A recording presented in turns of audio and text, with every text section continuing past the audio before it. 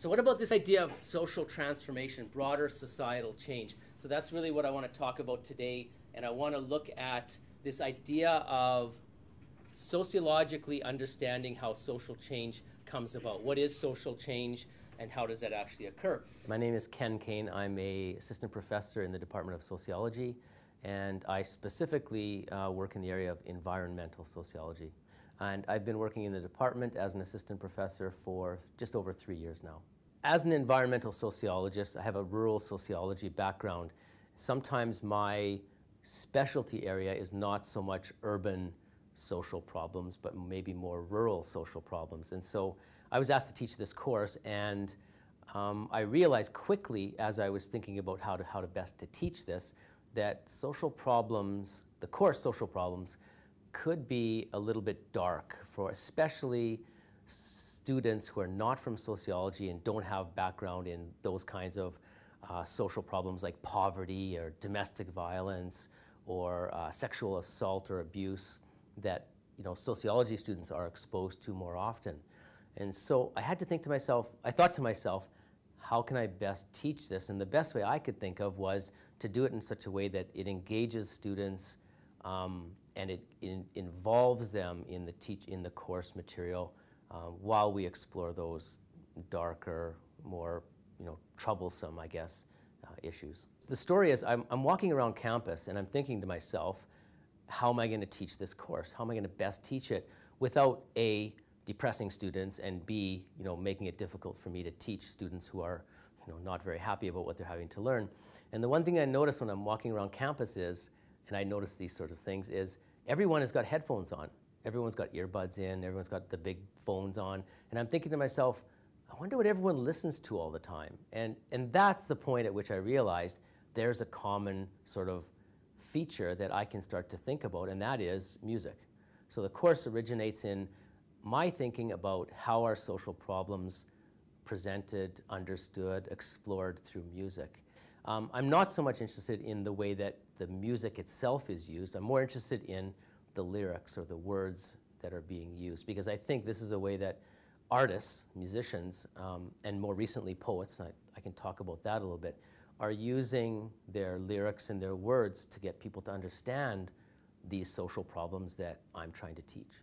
Traditionally or historically, people that use music um, to teach courses tend to fall back on, especially courses that have a social justice, social problems um, basis, tend to fall back on things like uh, folk music. So the, you know, the, um, the Woody Guthrie, the Bob Dylans, and the people that really, the Joni Mitchells of the world. That, so there's sort of a, a focus on understanding social problems through this certain genre of music. And, and I thought actually there are a lot of other musicians that we don't often think about that are exploring this topic. And moreover, I thought to myself, again, what about the music that students, typically first and second year students, are listening to as they walk around campus? So then I started to think about, well, that opens the door wide open to all these different genres of music. I, I really explore a lot through, I guess, would be hip hop music.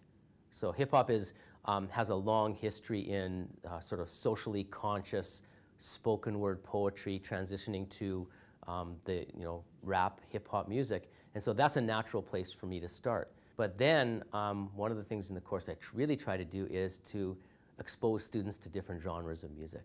So I can I I've been using the kind of music that some students would never associate with social problems, like grindcore, some really sort of heavy metal kind of music, or I might use music that's more punk related, um, so to address uh, um, suicide or uh, bullying, as I'm using more recently in my class. So I, I, don't think there's any one genre of music that would apply, but one of the things that I can say with this course is that because um, I don't listen to all of these genres of music all the time, it's really an exploration for me to, uh, to look at the different kinds of music and what students have to offer. So in this course, students actually play a really big part is they're the ones that bring the music, bring the words, and bring the poetry to the class. Ethnographically, I'm exploring music all the time. I'm exploring, more recently, uh, spoken word poetry, and this is a way for me to bring things to the classroom um, that, that students often don't know about. When I started out this course, I thought, well, YouTube, you know, this is a way that I can start to present videos. And I started to do that. And then I started to think to myself, well, is it one thing just to let the performance speak for itself? Or maybe there's a way that I can get students to start to engage with it. So that's when the assignments started to take place in that first year. I think where I've come now is thinking about what about the people that are behind those poems or songs? They have a lot to say about, well, they wrote that, so they, it came from some place. And the more I thought about it is, I don't think I can get at that in a YouTube clip. I don't think I can get at that even in, in a YouTube interview for that matter. So what I can do is bring the people into the class. How would I do this? And the more I thought about it, I thought we have a very um, strong community of musicians and poets in Edmonton already.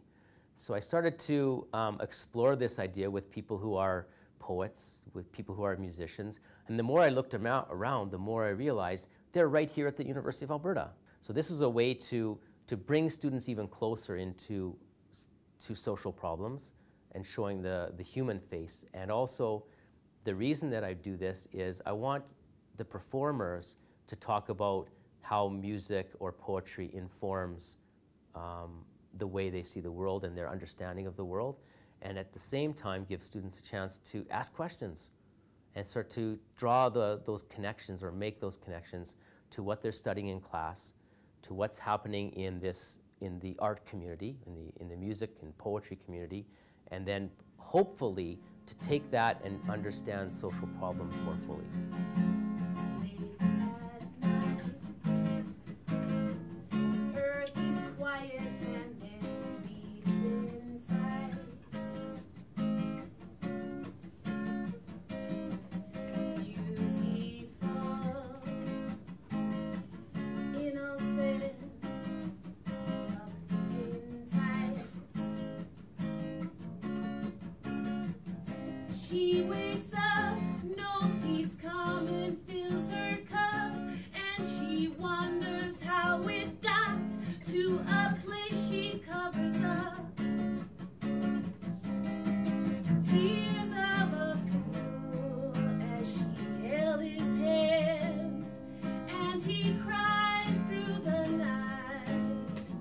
Response of the artists, musicians, poets, as I asked them to come into class, has been without a doubt positive. In fact, a lot of, the, of those performers have said that they've, they've never had a chance to come in and talk with students. Some of them are not university uh, graduates, some of them are not university students, one of, one of the performers was telling uh, his mother that he was coming into class to perform to an undergraduate class, and his mother was really excited for him because he never finished his university degree, but she felt that, that this was an indication that he had actually su succeeded and that he was giving some of this knowledge, wisdom back to students. And he actually was a very knowledgeable young person. I think the performers understood that I'm trying to make the connection between the sociological understanding of societal issues, the art that they're performing, and the way that I can get students engaged. A, a big part of why I'm asking performers to come into class is I ask them a question about what sort of advice would you give to a student who's interested in exploring this social problem from the, from the perspective of the arts and from the perspective of social justice and the perspective of how to be involved in this, the community in Edmonton. And so I know all of these performers have these other roles that they're playing, many of which are you know, related to education, related to uh, youth empowerment, related to um, social services. And students actually are looking for that kind of guidance. And I can tell them these sorts of things, but when they hear it firsthand from someone who is, um, in my eyes, very successful in, in blending and merging the arts with social justice issues, that's successful. And I think it also does provide a lot of advice and guidance for students that want to be involved but just aren't sure how to do it. The reason that I'm able to do this course is because I'm really passionate about it.